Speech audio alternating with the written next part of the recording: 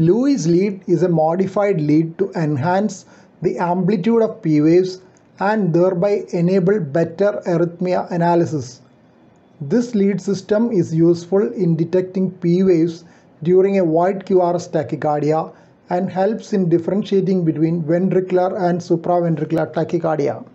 Lewis lead is a modified lead one in which the right arm electrode is placed in the second right intercostal space close to the sternum and a left arm lead is placed in the fourth right intercostal space close to the sternum that is V1 position. Normal P wave has an amplitude of 2.5 mm and a width of 2.5 mm on the ECG.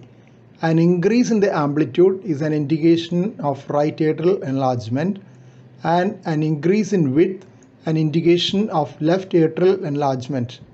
When both atria are enlarged, both width and amplitude are increased. P wave abnormalities are best assessed in leads 2 and V1. Normal P wave is upright in lead 2. In V1, a tiny initial spike is followed by a shallow negative wave. P mitral is a nosed and broad P wave with taller second peak indicating left atrial enlargement. It may be noted that initial part of P wave is contributed by right atrium as it is activated first and the second part by left atrium which is activated later. It is associated with a prominent negative deflection of P wave in V1, the left atrial component. Magnified ECG tracing showing P mitral in left atrial overload. Tall peaked P wave of right atrial enlargement seen in cor pulmonale is known as P pulmonale. The tall P of right atrial enlargement in congenital heart disease is called P congenital. P wave axis is rightward in P pulmonale while it is leftward in P congenital. The initial spike in V1 more than 1.5 mm is also a feature of right atrial enlargement. ECG tracing showing P pulmonale with tall peaked P waves in lead 2. P tricuspidale has been described in tricuspid atresia. The pattern is mirror image of P mitral. The initial peak is taller than the second peak in P tricuspidale. It indicates biatrial enlargement.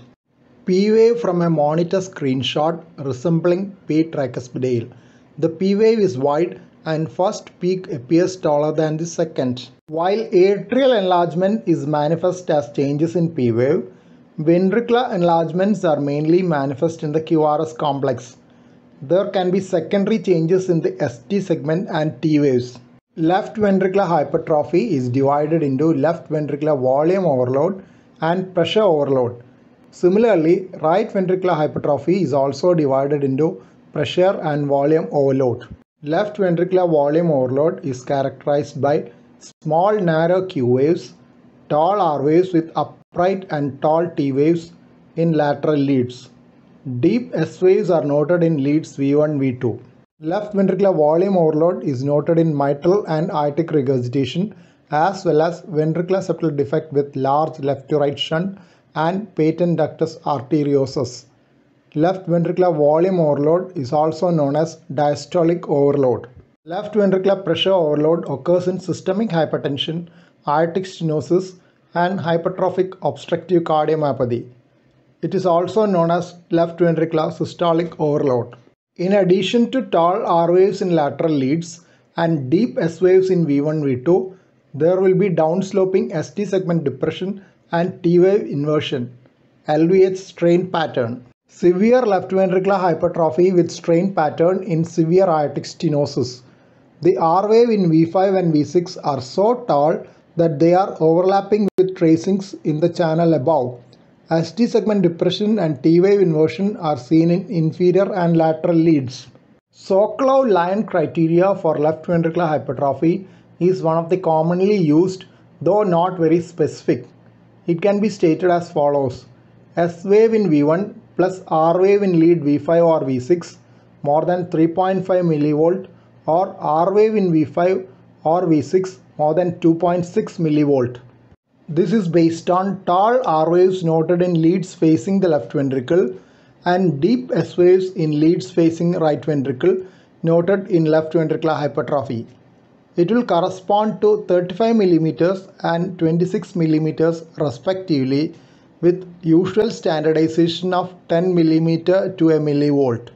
Right ventricular volume overload is manifest as RSR prime pattern in V1, incomplete right bundle branch block pattern.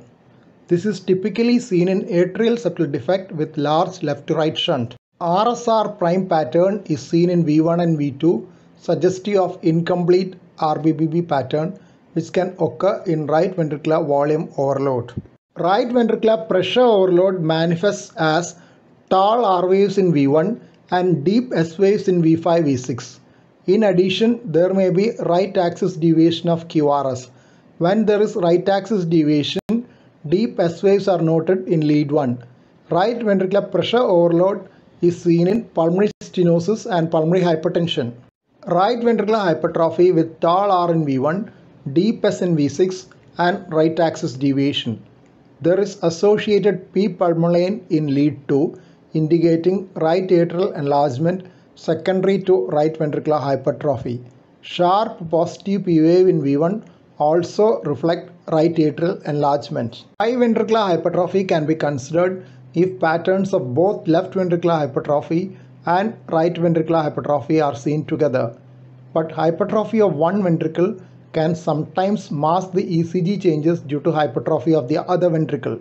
One specific type of biventricular hypertrophy pattern seen in children with congenital heart disease is known as Katz-Wachtel phenomenon.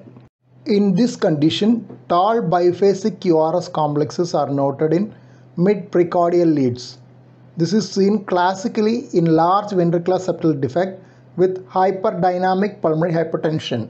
Recordings have to be obtained at half standardization, that is 5 mm per millivolt, to prevent overlap between the QRS complexes of the different leads so that the voltages can be measured accurately.